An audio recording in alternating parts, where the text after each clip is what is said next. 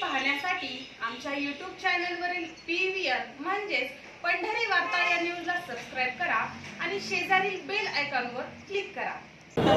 दोन मार्च रोजी पंढरीत भरणाऱ्या चैत्री यात्रेच्या कालावधीत चोख पोलीस बंदोबस्त ठेवण्यासाठी पोलीस प्रशासन सज्ज झाले असून त्याचबरोबर वाहतूक कोंडी होऊ नये म्हणून दक्षता घेतली जात आहे.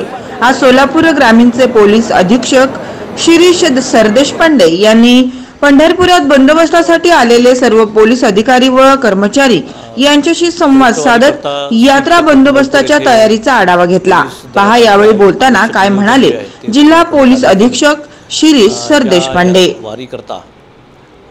पोलीस दलातर्फे तीन डी वाय एस पी त्यानंतर अठ्ठ्याऐंशी अधिकारी साडेसहाशे अंमलदार आणि त्याचप्रमाणे सहाशे होमगार्ड एवढा बंदोबस्त लावण्यात आलेला आहे.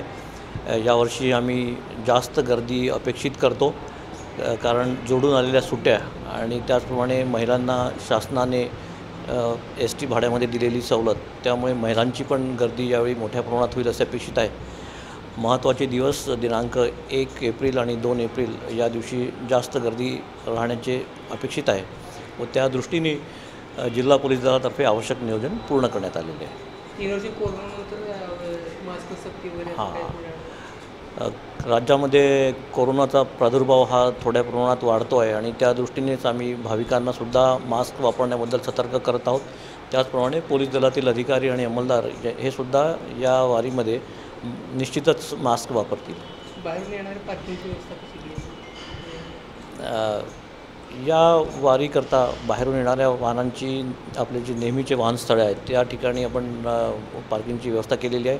त्याचप्रमाणे वाहतूक पोलिसांचा सुद्धा आवश्यक बंदोबस्त आपण लावलेला आहे. ताज्या घडामोडी पाहण्यासाठी आमच्या यूट्यूब चॅनलवरील पी व्ही आर म्हणजेच पंढरी वार्ता या न्यूजला सबस्क्राईब करा आणि शेजारील बेल आयकॉनवर क्लिक करा.